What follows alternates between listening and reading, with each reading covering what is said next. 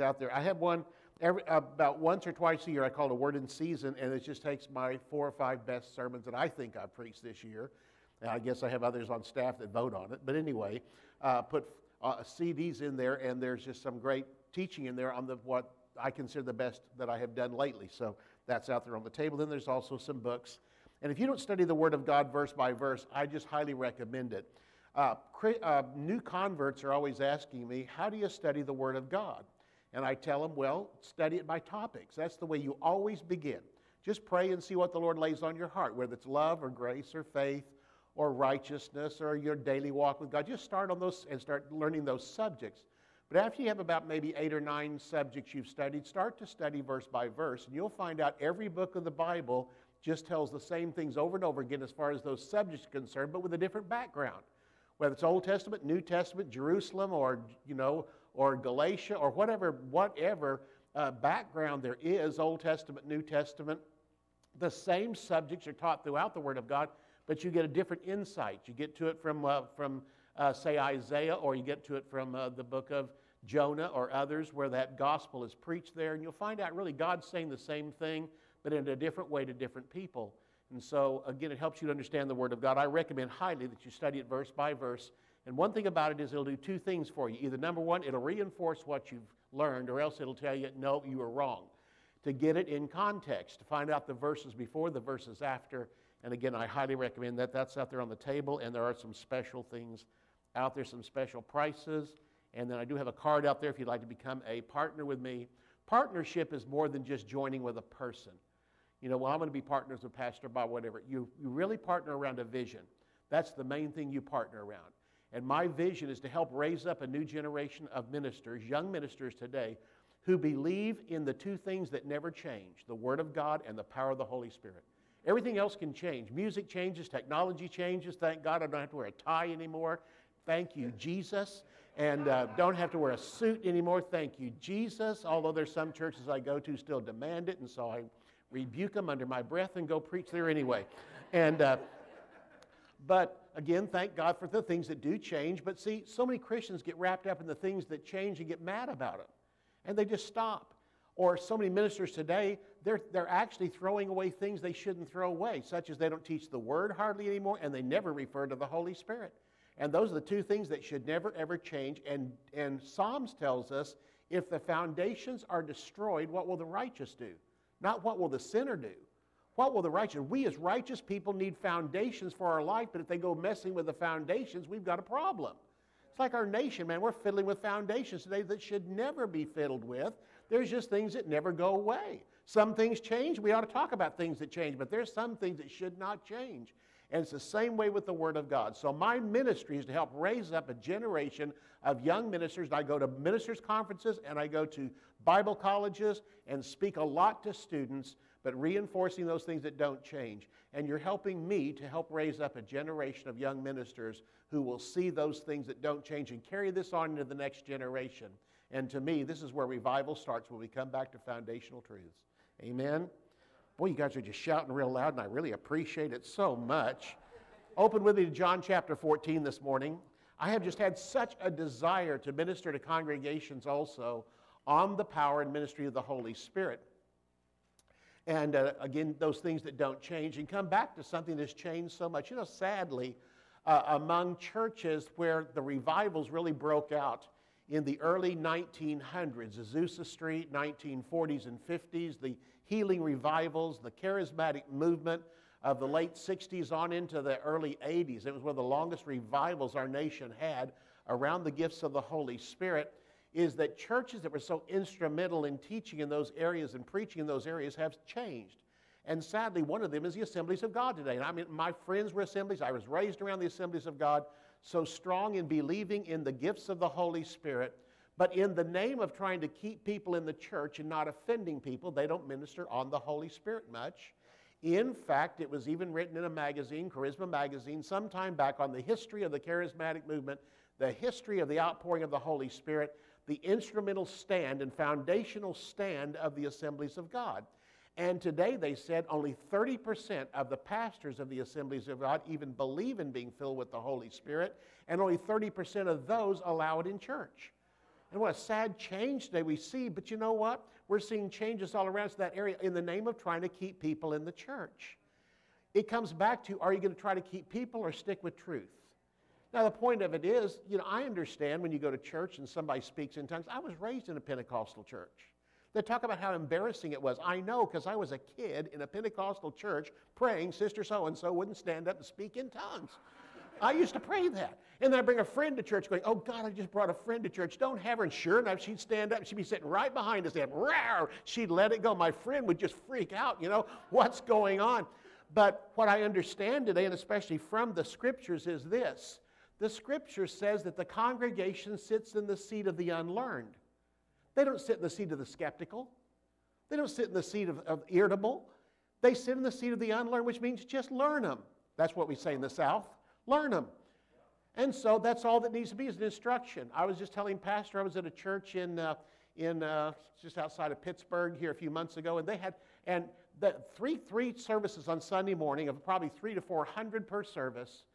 And there was a prophecy given in the church. A person stood up and gave a prophecy. The pastor was up in the pulpit in no time. And this was during praise and worship. The pastor stood there, and when the prophecy was over, above his head on a screen were three scriptures listed. He said, For those of you that are visiting today and maybe don't understand what's going on, write these scriptures down and go home and look it up. And you'll find out that God still speaks through you in a church service, not just me, the pastor, or the praise and worship, leader. he can speak through you, and it still is true today as it ever was back then. And he took one minute and explained it. I thought, how simple. Now they're no longer unlearned. Now they know what the word has to say. And really, what we're doing is, in the face of what people might think and fear, we don't explain it to them because people want the supernatural today. How do you know that Satan is supernatural? But how do you know God is supernatural? How do you know God's supernatural is bigger than Satan's supernatural? And we need to tell the people that greater is He that's in you than He that's in the world. And there's so much demonic activity in the world today, but we're not teaching people that you have the power over demons to step on them and tread on them. And this is what the Word of God has to say. I could stop there. That was a good sermon. But John chapter 14, if you look there with me, at verse 16, here Jesus speaking to his disciples says, I will pray the Father, and he will give you another comforter that he may abide with you till next week. Is that what it says? Forever. Even the Spirit of truth, whom the world cannot receive. If you have a Bible that you can mark in, underline that phrase, whom the world cannot receive. If you can, you know, do it in your iPad, then do it and color it but whom the world cannot receive, because it neither sees him nor knows him, but you know him, for he dwells with you and shall be in you. I want you to notice something. He made a differentiation between you and the world. He made a differentiation between the world and you. He said, he said, you have something that the world can't have. The world cannot have the Holy Spirit. The world cannot receive the Holy Spirit because it neither. Oh, I love the way Jesus is so. The Word of God is so accurate. It says the world cannot see him, nor does he know him, but you know him. I'm going to say that again. The world neither sees him nor knows him, but you know him. He says something here. You've never seen him. The world doesn't believe in God because they've never seen him, nor do they know him. But if you know him, you don't have to see him. In fact, the more I know him, I don't care if I see him. I don't have to see him. I think one of the strongest areas of unbelief you can have say, Jesus, if you just show up in my bedroom and tell me what to do, he lives in you. Guidance comes in you. Guidance comes from the Word. 90% of your guidance comes from the Word. Amen? Bible says he'll show you from the Word of God. He'll lead you into all truth. I had a man tell me in the congregation, I prayed for guidance, all I got was Scripture.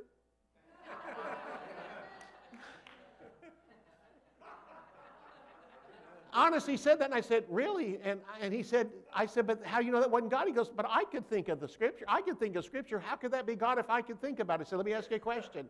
Was the scripture in line with what you were asking for? Yes. You realize there's 7,000 promises in the Word of God, and you happen to think of the only one that really lined up with what your need was, and you're telling me that wasn't supernatural? It had to be God. He said, I never thought about that. All those scriptures, and I thought of the one that could possibly bring me out of this situation. I said, it's like the Holy Spirit's a divine computer going, here it is, right here, and gives you the scripture that applies to your situation. Most of your guidance comes from the Word of God, but we are often missing the supernatural because we're looking for the spectacular. And all God wants us to trust Him for is the supernatural. When it comes along, we go, ho hum. Well, that might be okay. It's just part of your daily life to be guided by the Scripture. But again, He says here that you are different from the world. Let me tell you else what's different from the world. He didn't say that the world and you are the same.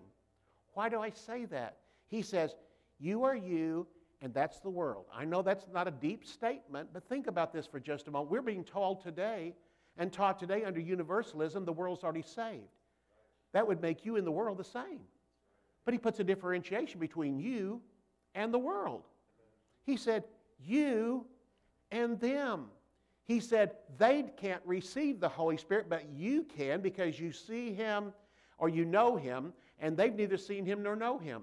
So he says here again, whom the world cannot receive. Notice it didn't say will not, they cannot. It's impossible for the world to receive the Holy Spirit because it neither sees him nor knows him, but you know him, for he dwells with you and shall be in you. So he doesn't say here in this verse of Scripture about the Holy Spirit that they are the same or that the world is the same as us. No, they don't have the Holy Spirit, nor can they ask him for it, but you have him. He lives with you and shall be in you in the days to come. Now, there are two ministries of the Holy Spirit that you get automatically when you get saved. All right? You didn't ask for it, it just comes with it. First of all, the Bible tells us, as far as the world is concerned, it says in John chapter 16, verses 8 and 9, when He has come, that's the Holy Spirit, He will convict the world of sin. So, when you're a sinner, is there a ministry of the Holy Spirit? The answer is yes.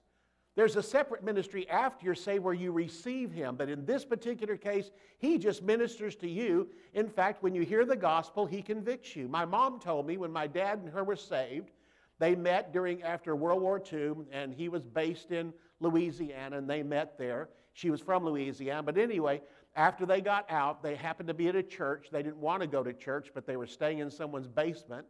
And they yelled down the stairs at him, You kids want to go to a revival.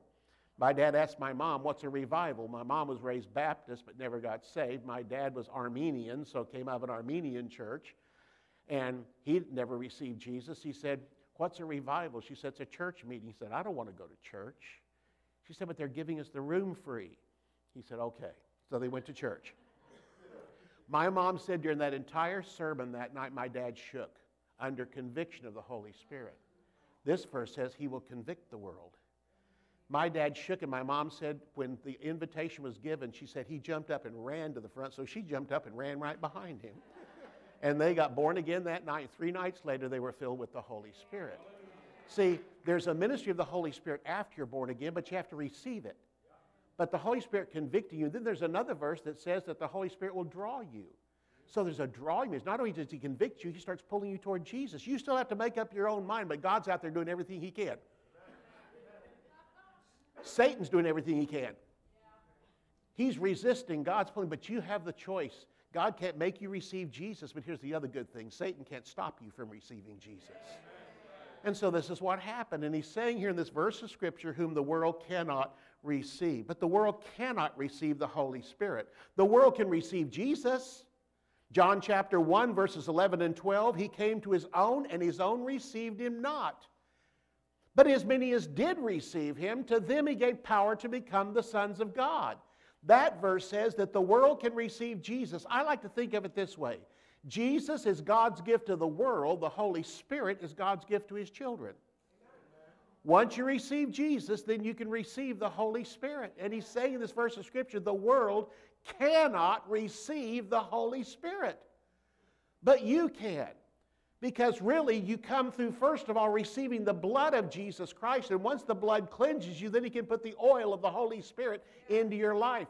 But the blood has to come first. Salvation has to come first. Receiving Jesus has to come first. And then after that, He has something for you where it is receiving the Holy Spirit.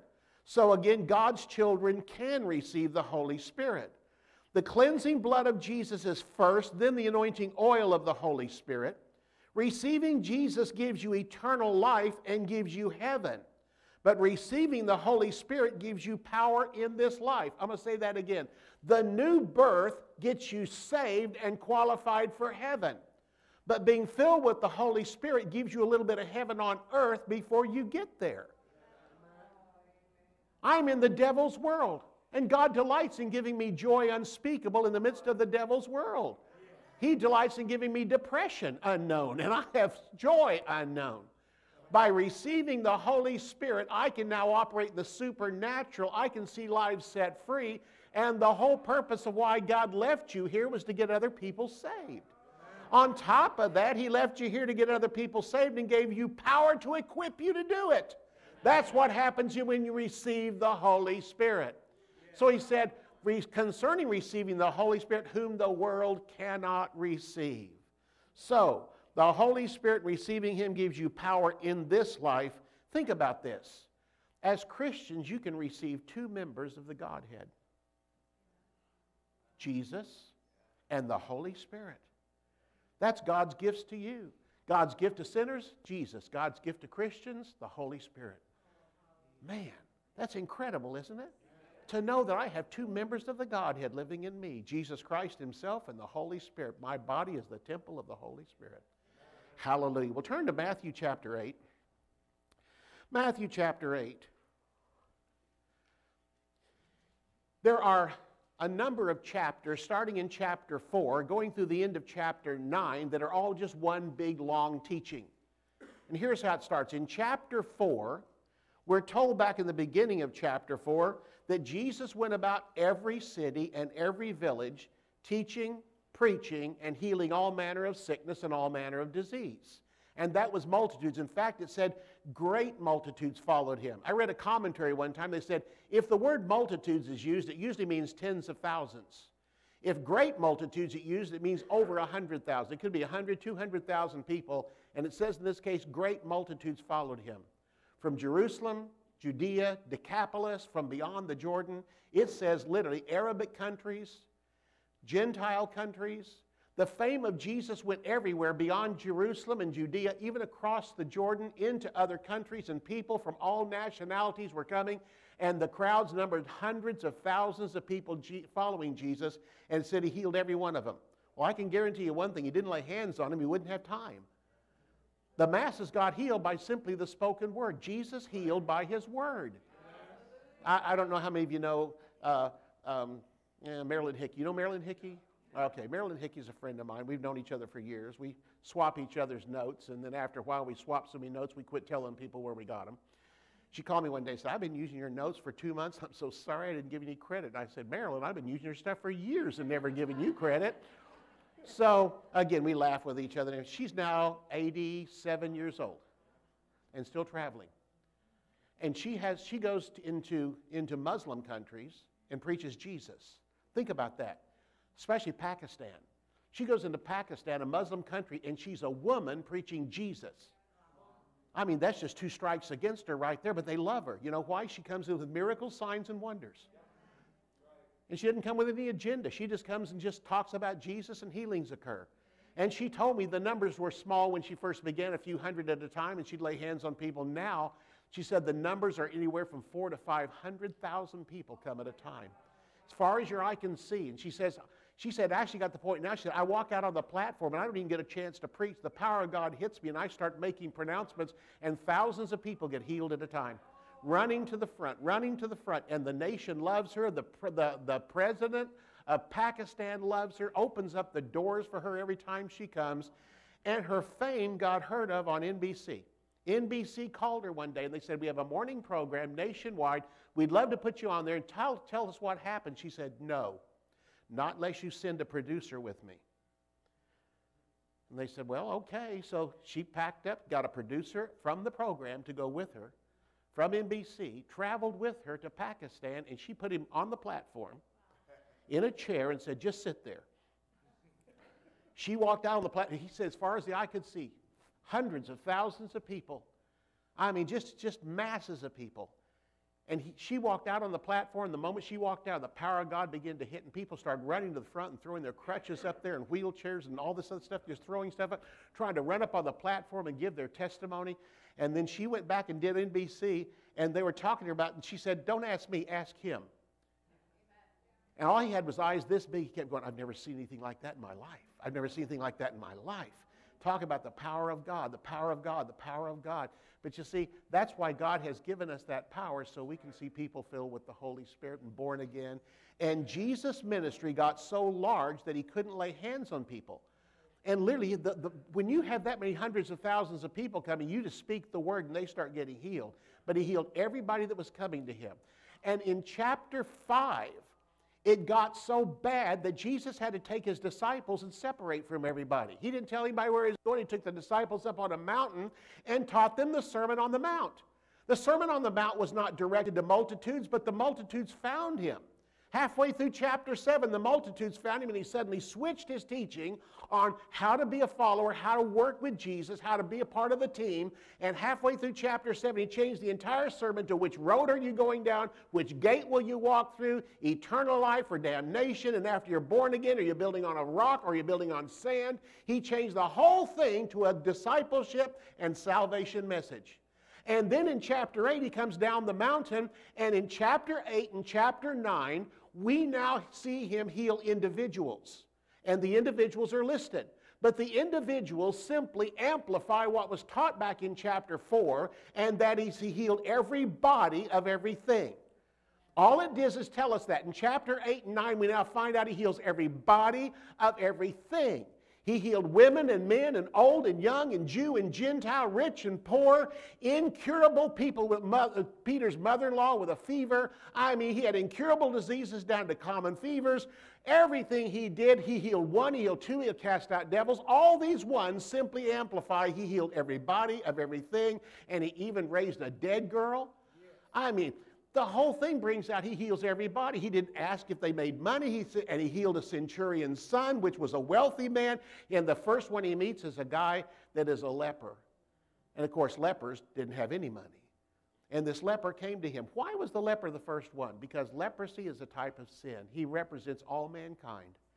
And this man is the most vast of all of them because of what he represents. Let's take a look in chapter 8 of Matthew. And it says in verse 1 when he came down from the mountain, this is the Sermon on the Mount, great multitudes followed him. Again, hundreds of thousands of people following him that found him on the mountain. And a leper came and worshiped him, saying, Lord, if you are willing, you can make me clean. It said, Jesus put out his hand and touched him, saying, I am willing, be cleansed. Immediately his leprosy was cleansed. And Jesus said, See that you tell no one, but go your way, show yourself to the priest, and offer the gift that Moses commanded as a testimony to them. Them are the priests. This will be a testimony to them. Why was a leper and his cleansing the first one recorded? It's the first one recorded in Matthew, and honestly, it's the first one recorded in the New Testament.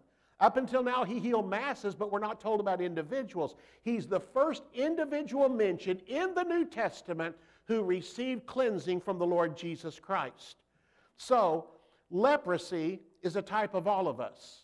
Although we are all born again, and uh, pardon me, although we are all born sinners, leprosy is a type of sin. Leprosy began in the blood and manifested itself as sores in the skin. In other words, it was in you before you ever knew it. And then it manifests itself on the outside. You see, we are not sinners because we sin. We sin because we're sinners. It's a manifestation of something already in us. And when it manifests on the outside, that's not when we became a sinner. We were a sinner long before that because we were born a sinner. All have sinned. Past tense and present tense come short of the glory of God. So we are all born sinners, and this is what this man represented. He represented all mankind. Leprosy was the only disease that, when healed, was called cleansed. I'm going to say that again. Leprosy is the only disease in the Bible that, when it was healed, was called cleansed. Now, it was healed, but it wasn't called a healing, it was called a cleansing. Isn't that interesting? Next of all, when crowds saw a leper coming, they didn't cry sick, they yelled unclean. Because this person needed to have cleansing.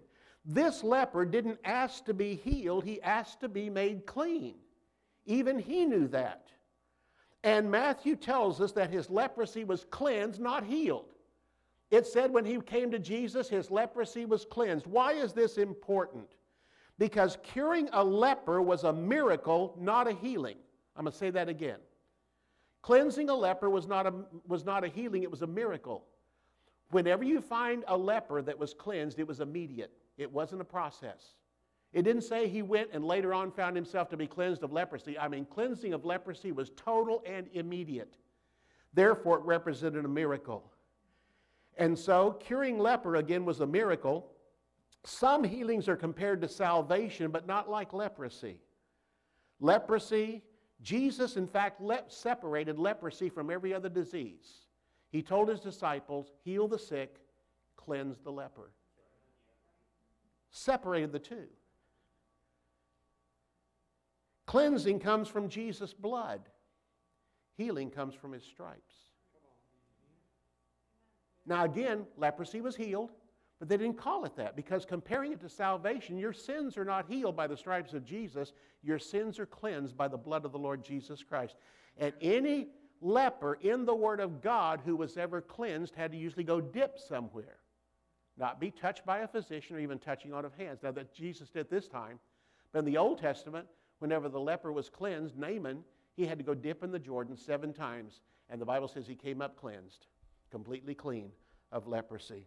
That's just good preaching, Bob. Thank you so much. I appreciate that. Thank you. All right. Next of all, when cured, when cleansed, a leper didn't go see a doctor, he went and saw the priest.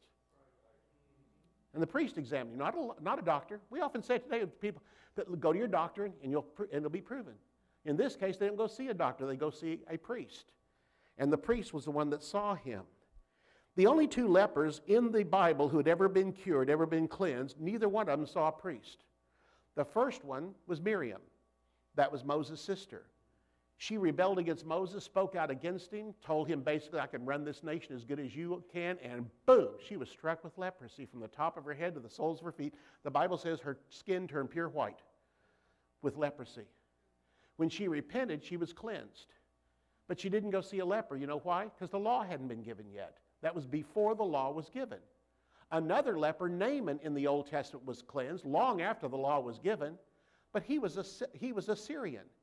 He was a Gentile. He didn't have to go see the priest, and so when he was cleansed, he went back home. It wasn't required of him since he wasn't a Jew to do so, which tells us something. Those are the only two lepers cleansed until the time of this leper being cleansed. Neither one of them in the Old Testament went to see a priest. You know what that tells me? When Jesus said, Go see the priest, the priests were shocked. what? This is found in Leviticus chapter 14. And when this guy came, they said, What happened? He said, I was, I was a leper. In fact, my, my name was on the leper's rolls. You can see right here, I brought them. But I've been cleansed of leprosy. And the man that cleansed me said, I'm supposed to come and see you.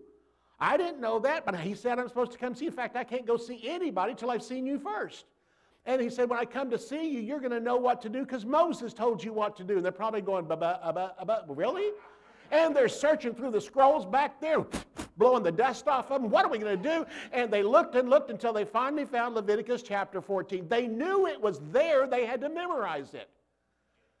As a priest, you had to memorize the first five books of the Bible, of which Leviticus is one of them, but they didn't know where it was. And they had to search and search. This man was probably standing out there for a while waiting on these guys. They're going, just a minute, a little while, and looking. And finally opened up. They said, here it is, blew the dust off, and probably had to read it to know what to do. They'd never had a cleansed leper coming.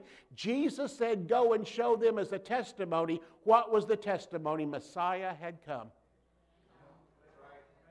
Jesus had arrived. So let's go to the law of the leper and find out what happened. Let's find out what happened with this poor guy. Not poor guy, he's now healed and cleansed and all that. Let's find out what happened. Leviticus chapter 14, I want you to look with me at verses 1 through 7. And here's what the Lord spoke to Moses. It says in verse 1 the Lord spoke to Moses, saying, This shall be the law of the leper in the day of his cleansing. I want you to notice something the day of his cleansing, not the week of his cleansing, not the month of his cleansing. It happened in a split second. He was cleansed in one day. Just like your sins are forgiven in one day. Aren't you glad that salvation isn't a process? Man, I got it and boom. I mean, I walk away and in a moment, the twinkling of an eye, I'm a brand new creation. Old things have been washed away and leprosy was immediately cleansed. Now you go walking off as a cleansed leper. It says, The Lord spoke to Moses, saying, This shall be the law of the leper. In the day of his cleansing, he will be brought to the priest, and the priest will go out of the camp and examine him. And indeed, if the leprosy is healed in the leper, the priest will command to be taken for him. Who is to be cleansed? Two living clean birds. Now, underline the word birds, they're actually sparrows. The cheapest of all birds and the cheapest of all sacrifices was of the, of the leper because he couldn't afford much. In fact, we're told in chapter 10 of Matthew, aren't two, aren't two sparrows sold for a farthing? It was for this offering. Two sparrows sold for a farthing. A farthing is three eighths of one cent. That's how cheap they were. And he goes on to say there, and the birds will be killed in an earthen vessel, verse 5. The priest will take and, and command one of the birds to be killed in an earthen vessel over running water.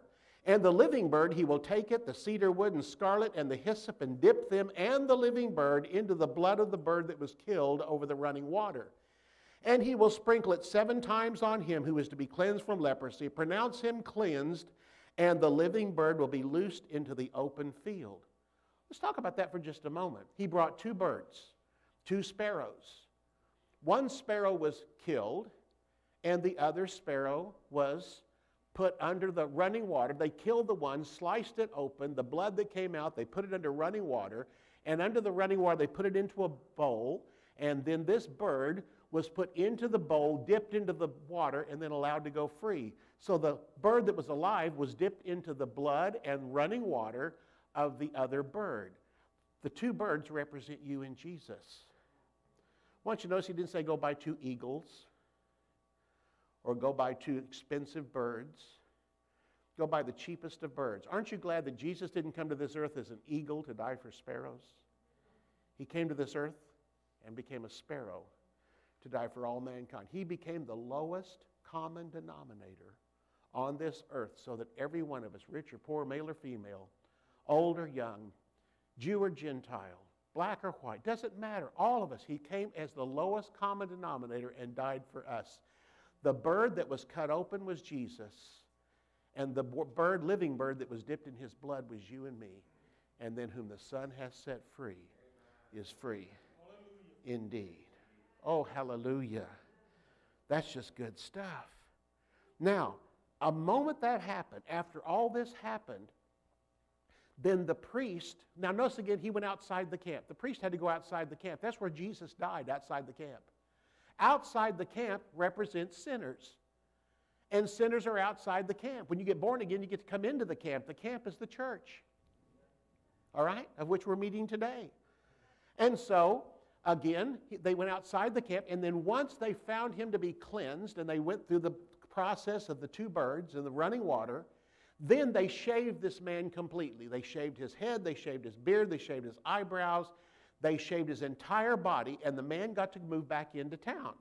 He probably found his old tent somewhere and set it back up, but for seven days, this man could not go into his tent. Day and night for seven days, he stayed outside of his, of his tent. And he put on some clothes and stuff, but you could now see because he had been shaved all over that this man had no more leprosy. That's why he did it. See, when you're born again, it's time to go show everybody you've been born again. Don't hide in your house, man. Go tell everybody whom the Son has set free is free indeed. Man, everybody can go by and he can show that. Look at this arm. Isn't that good looking arm? See, no leprosy at all. Look at my head, no leprosy at all. Even my scalp, look, there's no leprosy anywhere on me. I was cleansed, and the priest even pronounced me cleansed. And for seven days, I'm showing you everything. And then on the eighth day, after all this happened, after seven days, on the eighth day, he got to go back into his house. But also on the eighth day, there was another sacrifice made for him. Let's go to the next portion of Scripture. Go with me to verse 10. On, again, on the eighth day, when uh, day 10 begins, he's reshaved, but not all over. Just his head, just his beard, just his eyebrows, all the hair on his head was, was shaved, and he goes back, and now he goes for another sacrifice. Only this time, look what it says in verse uh, 10. On the eighth day, say the eighth day. That's so important. On the eighth day, he will take two male lambs without blemish, one ewe lamb of the first year without blemish, three tenths of an ephah of fine mixed, uh, a fine flour mixed with, uh, a first, pardon me, fine flour mixed with oil as a grain offering, and one log of oil. Then the priest who makes him clean will present the man who is to be made clean and his things before the Lord at the door of the tabernacle of meeting. No longer is the sacrifice outside the camp, it's in the camp. And right by the door where the priest minister. It goes on to say there, verse 12, and the priest will take one male lamb offered as a trespass offering and the log of oil, and will wave them as a wave offering before the Lord. Then he will kill the lamb in the place where he kills the sin offering and the burnt offering in a holy place and for the sin offering of the priest, so is the trespass offering, it is most holy. The priest will take some of the blood of the trespass offering, and the priest will put it on the tip of the right ear of him who is to be cleansed, on the thumb of the right hand, and on the big toe of the right foot. What did the priest do? The priest killed these sacrifices, and the man was standing there eight days after his cleansing, seven days of showing himself in the camp. Now, on the eighth day, he's reshaved on his head and he comes, and so the priest offers a sacrifice, and the blood of the lamb, he puts it on his finger, and he puts it on the tip of the right ear, and on the right thumb of the hand, on the tip of the right thumb, and then he put it, you can keep your shoes on. He put it on the tip of the big toe on the right foot. Now, why is that? Because once you're born again, you're cleansed by the blood of Jesus, but let me tell you why on the ear? Because the ear that never could hear God before can now hear God. You begin to understand something. The moment I'm born again, I know I'm a child of God. My spirit bears witness with Him that I'm a child of God. I know what the Lord's telling me. I mean, I just know those things. Before this, I never knew I was a Christian. Now that I'm born again, I know I'm a Christian. It's just like you can ask me and I'll go, I just know it. I just know it. It's like I could hear from God right here on this ear. I could hear from God next of all on the right thumb. The works that you used to do are now being done by the blood and the love of the Lord Jesus Christ. Now I no longer just put clothes on a man's back that doesn't have any clothes. I can use those clothes to tell him about the robes of righteousness. I no longer just feed a hungry man. I can now tell him about the bread of life. Understand something. I love the fact that churches offer food and clothing, but we are not a charity organization. We're not competing with, with a Salvation Army. We're not competing with the Goodwill, which all those places do is just give clothes. Listen, we can give clothes and we should give clothes, but it's used to, so a person can receive Jesus. We give food so a person can receive Jesus. All the things we do are works to help introduce them to one that can get them in, employed themselves and working for the Lord and working for Jesus. And so we can take and change their lives. In other words, we're not just giving a man a fish anymore, we're teaching him how to fish. And then on the toe, now I no longer wander around in life. I've been given the Great Commission the moment I'm born again go into all the world and preach the gospel because your feet represent the gospel of Jesus. How lovely on the mountains are the feet of them that bring glad tidings of peace. And the big toe is the guiding one for the foot. I now know where to go. And I go into all the world and preach the gospel. All these wonderful things now. And Ephesians chapter 6 tells me my feet are covered with the preparation of the gospel of peace. So now I know I'm born again. Now I can do good works and see people get saved. And now I can go into all the world. I now have a mission in life. Isn't that wonderful? But we're not through yet. There's one more yet to go. Jump down with me to verse 15. Verse 15 says, The priest shall take some of the log of oil and pour it into the palm of his own left hand then the priest will dip his right finger in the oil that was in the left hand and sprinkle some of the oil with his finger seven times before the Lord. And the rest of the oil that's in his hand, the priest will put some on the tip of the right ear of him who is to be cleansed, on the thumb of his right hand, and on the big toe of his right foot. Underline these next three words on the blood. He put the oil on the blood. Of the trespass offering. The rest of the oil that's in the priest's hand, he will put some on the head of him who is to be cleansed, so the priest will make atonement for him before the Lord. Next of all, he took the oil and took the oil and sprinkled it some before the Lord, and he put then in his left hand, poured some oil in his left hand, and took his finger and put it on top of the blood that was on the top of the ear, put it on the blood that was on the thumb, and then put the blood on the toe that was on the right foot. Why was the oil touching the blood? Because the oil couldn't touch the skin, the oil can only touch the blood. The blood can touch the skin. But the oil represents the Holy Spirit, of which we are not holy until we receive the blood. Why can the blood touch us? Because Jesus became sin for us, who knew no sin, that I may be made the righteousness of God in Christ. The blood touched me, and suddenly I became as righteous as God. Then the oil could be placed on top of the blood, because the oil on top of the blood is whom the world cannot receive. I have to have the blood first before the oil can touch me. But what happens when the oil touches the blood? Exponential power. You shall receive power. You Christians, you believers, after the Holy Spirit's come upon you to be my witnesses. You think you can hear from God when you're born again? Wait till the oil touches your ear. Now you can have words of wisdom, words of knowledge, discerning of spirit. You can move into the gifts of the Spirit, and suddenly the hearing that you had before, where you now understand I'm a child of God, is dwarfed by the power of the Holy Spirit is exponentially everything begins to increase in your life. You think you can do good works with it on your thumb and feed those that are hungry? Now your hands can work in operations of miracles, signs, and wonders, healing power of God.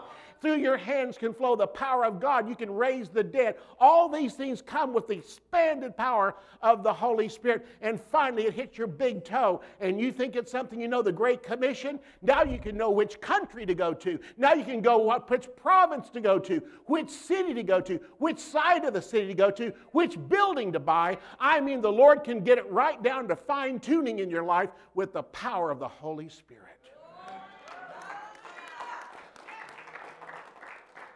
The blood paints a wide vision, and the Holy Spirit starts narrowing it down just for your life. I know I'm supposed to go into all the world, but I can't go into all the world. The Lord says, Fine, I'll show you which part of the world you're supposed to go into. In other words, when He says go into all the world, He says go ye, plural, into all the world. He never asked one person to go into all the world, but all of us together can take over the whole world.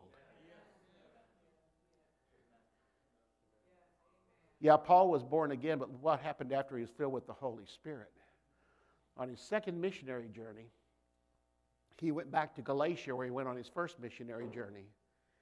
As he was in Galatia, he started to leave Galatia and decided, I know what, I'll go north into Bithynia. And the Holy Spirit said, Don't go. He said, Okay, well, I'll go south into Asia. And this time the Holy Spirit forbid him to go. So he just kept going west. He came from the east. He wasn't going to go back to the east. He couldn't go north. He couldn't go south. So he just kept going west and had no direction except for probably a peace. He followed that peace till he got to Troas. Got to Troas and probably walked out right to the Aegean Sea and said, Lord, unless I can walk on water, you better tell me what I'm supposed to do. And that night, in a vision, the Holy Spirit came to him and said, Macedonia. He actually saw a man from Macedonia, saw a face of a man from Macedonia. Said, Come over here. And he went to Philippi. The first city he went to became the strongest partners he ever had in the ministry.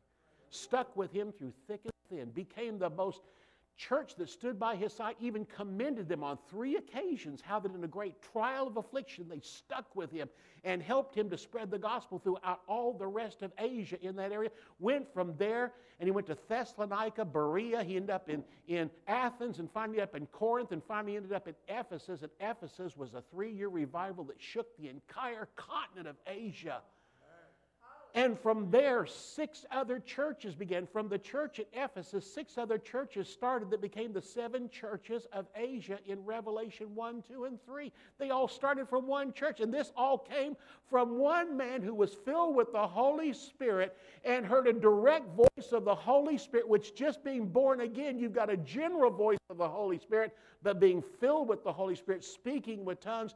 Thank God I speak with tongues more than you all Paul said that. And on top of that, with all the speaking with tongues, God could direct him. And I'm simply here to tell you, you think you've heard from God before, wait till you start to minister to the Lord in tongues. You'll start getting things from God that are so specific. My wife and I were driving down the Broken Arrow Expressway in Tulsa when we crossed Memorial on a bridge. Memorial ran under us. In the middle of the bridge, the Lord spoke to me and said, You're supposed to pastor Grace Fellowship. It's the church I was attending. My wife and I went there when it first started. We were part of the 52 people that helped start that church. The first pastor stayed for five years, the next pastor stayed for a year and a half. But that second pastor that was pastoring at the time had said he was looking at at least the next 30 years of his life. And a year and a half into his pastorate, the Lord spoke to me and said, You're going to pastor the church. I got home and spoke to my wife, said, The Lord spoke to me on that bridge back there that I was supposed to take the church. She said, Yeah, I knew it for about a month. I thought, Eh, why do you know it before me? That, uh, you know. Anyway, I got past that real quick. But you say, why does the Lord do it in the middle of a bridge? I think so every time you cross the bridge, you can remember that's where the Lord spoke to you. Raise a memorial right there, you know? Right across the street over Memorial. That's a great thing. You know, I never thought about that, but it was right over Memorial. And so the Lord just had it as a memorial. And, you know, so my wife and I, we just both knew it, you know, and that the pastor seemed to be happy there. The church seemed to be doing real well. It was prospering and growing. And I was studying for a Wednesday night sermon. I mean, I, I was teaching a class.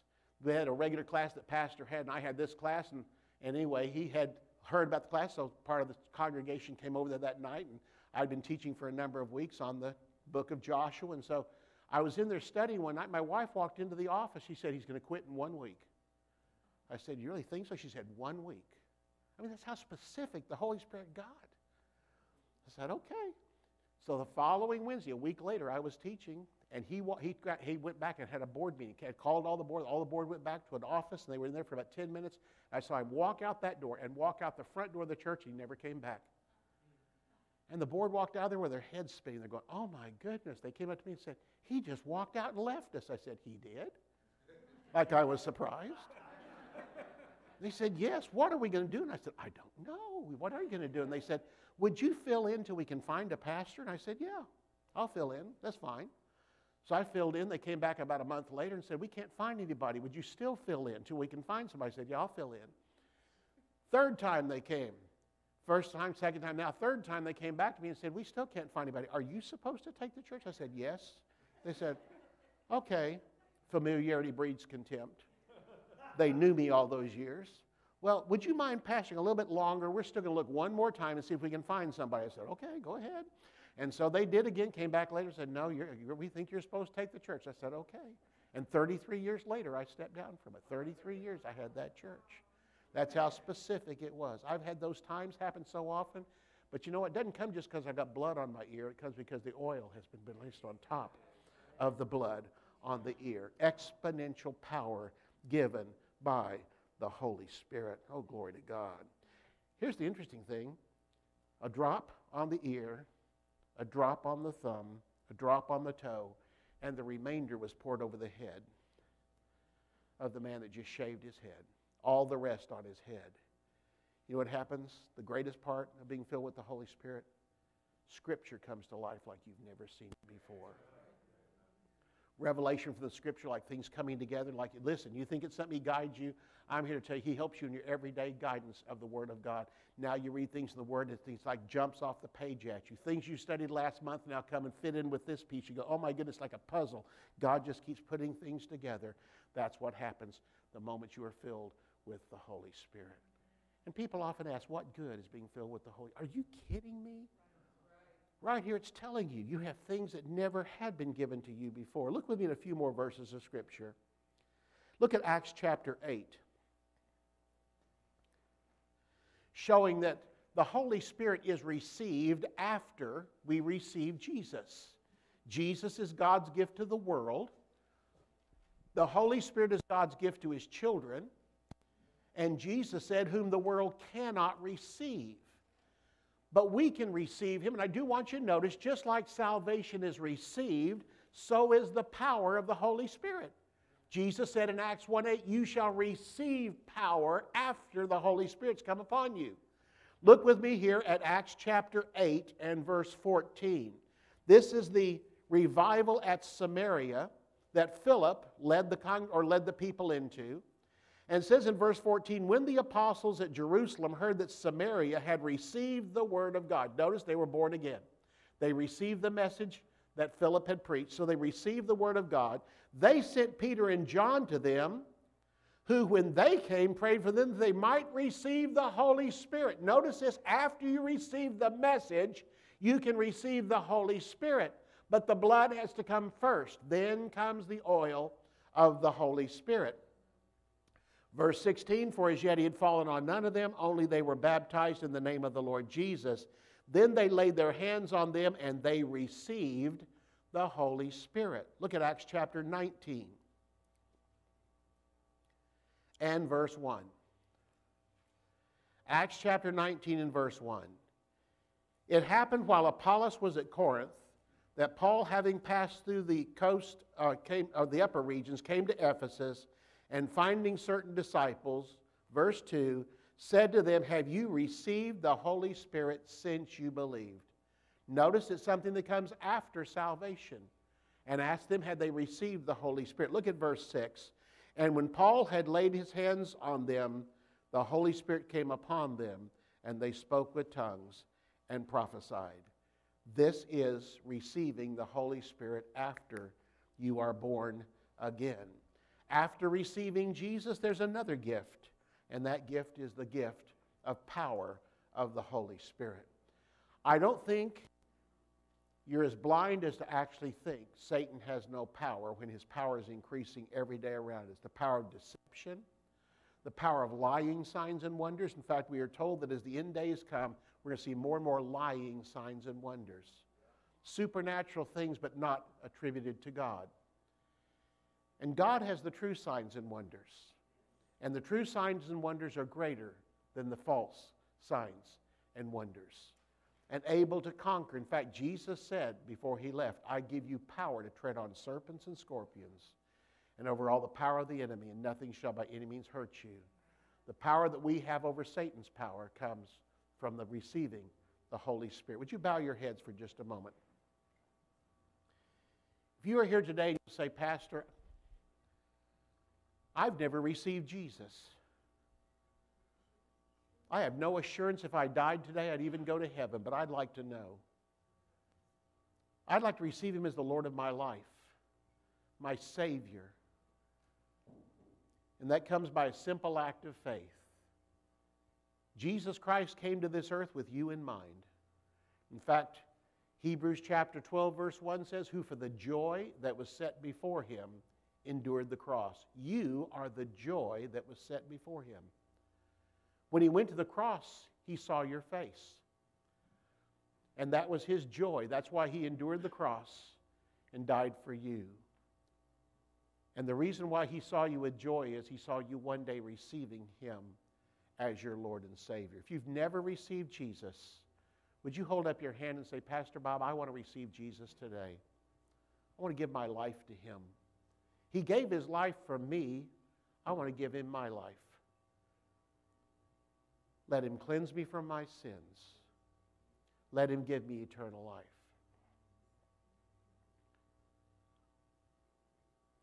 If you're here today and you'll say, Pastor Bob, I am saved, I am born again, but I have never been filled with the Holy Spirit. I've been touched by the blood, but I've never been touched by the oil.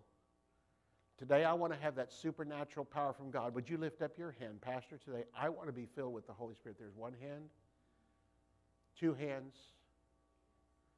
Anybody else? Three hands. Anyone else? I want to be filled with the Holy Spirit today. I want to receive the Holy Spirit. I'd like for everybody to stand if you would. I would like to ask those three or four that raised up your hand to be filled with the Holy Spirit, to receive the Holy Spirit. Would you just do the next?